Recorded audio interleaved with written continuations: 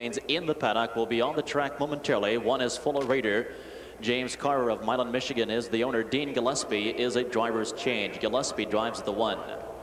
Here's the two, easygoing guy, owned by Ron Boston and Sue Milek of Ohio. Ron Boston driving. Number three, big guys back in town, owned by Bertie Hash of Newark, Ohio, handled by Bob Harper.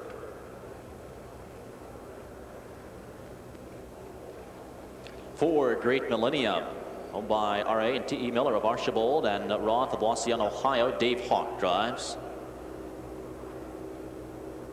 Here's the five, Wiz White, over the White Creek Stable of Parkland, Florida, with Ray Paver Jr. The six category five, owned by Scott Glandon, Larry Fitzgerald, Mark Ader, and Earl Ader of Ohio.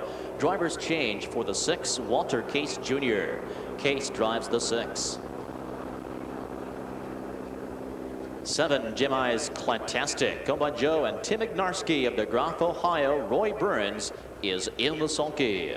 All in behind the gate. Field of seven enter the stretch for the start. Here they come.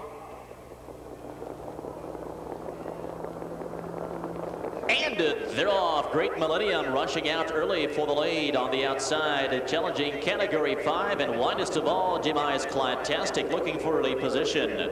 Towards the inside and fourth, big guys back in town. Away in five is Fuller Raider. Followed in sixth as they swing to the backstretch by Easy Going Guy. The trailer is Whiz White. Down the back stretch at the quarter mile marker, but on the front now, category five, charging to the front for the lead. Great Millennium on the inside is racing in second. Big Guys back in town is right there in third. Jim Eyes Clantastic settles for the fourth spot. They pace the quarter in 27-4. Fuller Raider is back in fifth now, and here comes Easy Going Guy. He'll flush cover on the outside. At the rail trailing, seventh is Whiz White. Coming past the stands, it's category five with a little length and a half. Right there in his back, the pocket seat for Great Millennium. Then third to Big Guys back in town. Inside fourth, Jim Eyes Clantastic. Here comes Fuller Raider, flushed first up now. He's challenging fifth. They pass the half in 58 and two.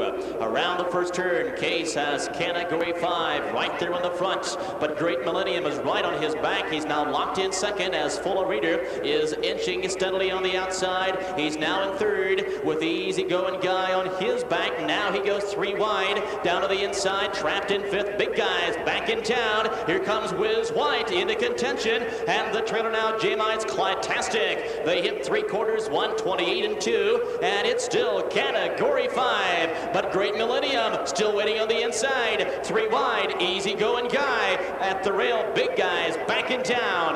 Less than an eighth of a mile ago. It's category five on the inside. Great Millennium to the outside. Big guys back in town, turning for home. Category 5 by 2. Great Millennium now battling with big guys back in town, but it's Category 5 to win it. Great Millennium was second. Big guys back in town third in 157, 3 fifths. Walter Case Jr. showed up early and showed up with his game face on, Ellie. And this Stepping into the winner's circle, winner of the opening event here on Jug Day 2000, number six, category five. A trio colt by Western Hanover out of Swift Tuttle by Annihilator. Over the partnership of Scott Glandon, Larry Fitzgerald, Mark and Earl Ader of Ohio, Dan Ader trains, and catch driven here this morning by Walter Case Jr. The rookie category five scores his fifth of his career, pacing the mile this morning in 157, three fifths.